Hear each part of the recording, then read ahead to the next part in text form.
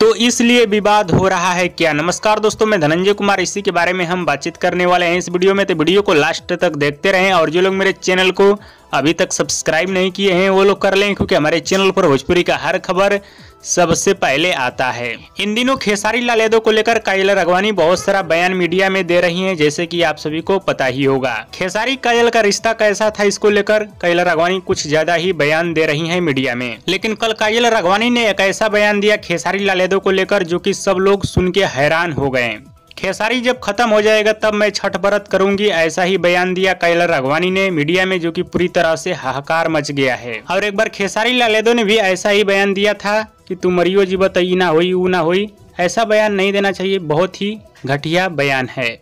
हाँ एक बात और है, कैलाश राघवानी किसी को नहीं छोड़ रही है, सभी का क्लास ले रही है, लेकिन ज़्यादातर खेसारी लाल यादव को टारगेट कर रही हैं। और बताया जा रहा है कि कैलाश राघवानी इस तरह का फालतू विवाद इसलिए कर रही हैं, इनको बिग बॉस में जाना है।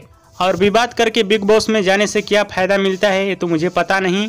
यही लोग जानेंगे। और ये बात खेसारी लाल यादव की टीम द्वारा बोला जा रहा है कि बिग बॉस में जाना है कैल राघवानी को, इसीलिए ये सब विवाद कर रही है। और खेसारी लाल यादव के सभी यूट्यूबर लोग वीडियो भी बना दिए हैं, क्योंकि उन लोगों को फ़ोन कॉल पे बताया गया है। और हमको भी पता चला है, लोगों ने बताया है। और आप सभी को बताना चाहता हूँ, देखिए कैला राघवानी बिग बॉस में जाती है या नहीं जाती है। जहाँ तक उम्मीद है बिग बॉस में कैला राघवानी जा सकती हैं। हाँ तो दोस्तों, विवाद का कारण यही बताया जा रहा है। बाकी आप सभी को क्या लग रहा है, हमें नीचे कमेंट बॉक्स में ज़रूर बताइएगा। वीडियो पसंद आया तो ज़्यादा लाइक करें कमेंट करें शेयर करें सब्सक्राइब करें। धन्यवाद दोस्तों।